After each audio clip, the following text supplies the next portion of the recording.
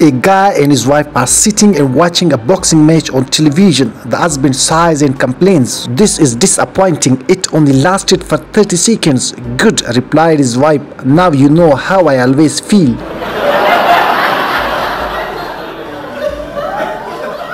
Mother, sweetie, make a Christmas wish. Girl, I wish that Santa will send some clothes to those naked girls in Papa's computer.